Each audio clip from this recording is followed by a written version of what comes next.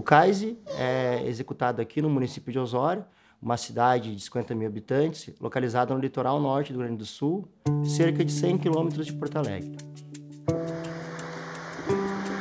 Na minha profissão, eu, sozinha, eu não consigo fazer nada. Então, a gente precisa de uma equipe de apoio. É saúde e educação juntos, em cogestão.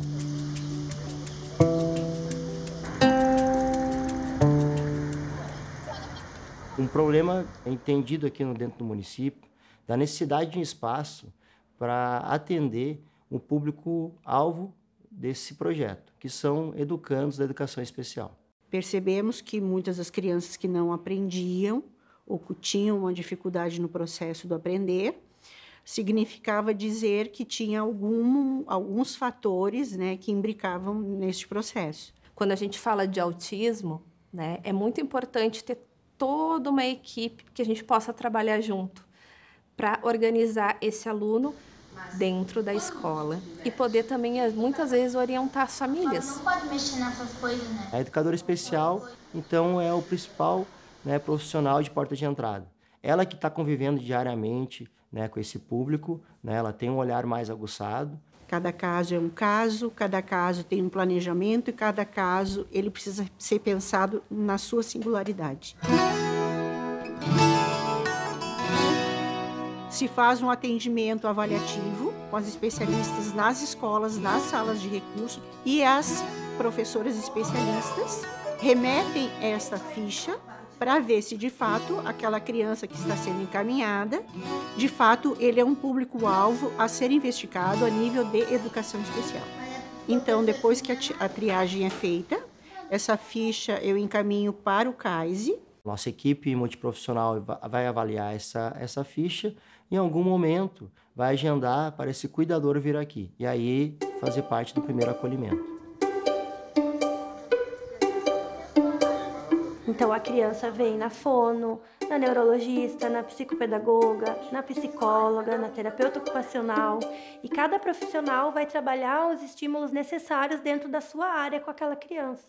E a partir do momento que a criança vai recebendo os estímulos, ela vai desenvolvendo aquela área. E antes de vir o CAISE, a criança estava sem terapia nenhuma. Essas crianças, muitas vezes, elas não tinham acesso a terapias, né? Ou os pais tinham que pagar, às vezes, particular. Eu sei que aquela família não pode levar numa psicopedagoga, por exemplo, particular. E aí, tendo CAIS é uma possibilidade. Minha mãe conseguiu um negócio barato, que aqui no CAIS é de grata, gratuito e tem tudo que precisa. O autismo, ele, ele não é deficiência e nem doença. Ele é uma diferença de atitude.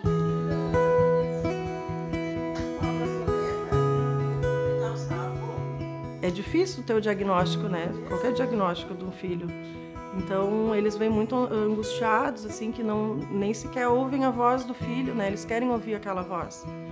E quando isso começa a acontecer, é uma coisa linda, mágica, assim. O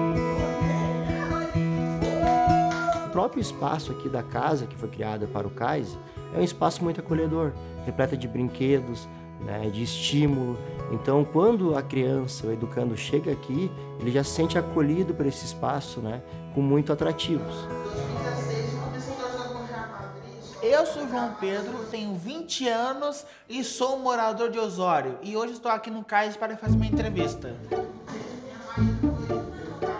Eu gosto de jogar os jogos que estão ali, eu gosto de desenhar, tem vezes que a gente vai passear também.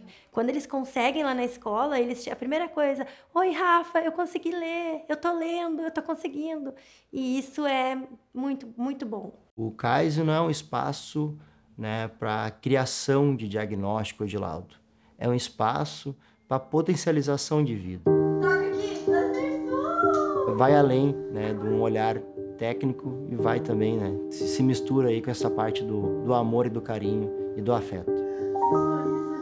E a gente consegue trazer diversas outras formas de ver, de vivenciar e de aprender, né? E isso tudo é, é o nosso trabalho Quando a gente entende que esse é o nosso trabalho, que lá na frente é isso que vai fazer a diferença, não tem como ser diferente, né? Porque realmente é o que a gente planta hoje com essas crianças que vai determinar muitas coisas lá no futuro delas. Nós não teríamos sucesso com essas crianças da escola se nós não tivéssemos esse apoio da saúde.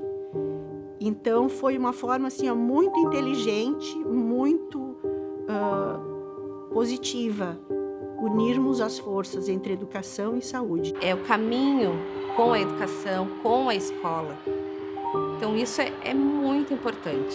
A gente sempre vai trabalhar pela lógica da composição, de sentar junto, de fazer junto. Poder se pensar em saúde física e saúde mental para os nossos alunos, para se tornarem um sujeito que tenha um espaço de vida, que possam conquistar um espaço de conquista na sociedade, isso é tudo. Que só tem inclusão quando de fato tu integra a criança em todas as esferas sociais. Me sinto muito feliz, muito feliz, realizada. Quando falar do CAIS, para mim, eu sempre vou remeter a palavra de gratidão e de acolhimento. Você Meu desejo é que vocês aprendem mais, uh, melhorem nas falas e ficam mais inteligentes do que antes. Preciso falar mais alguma coisa? Não. Não. Corta a câmera.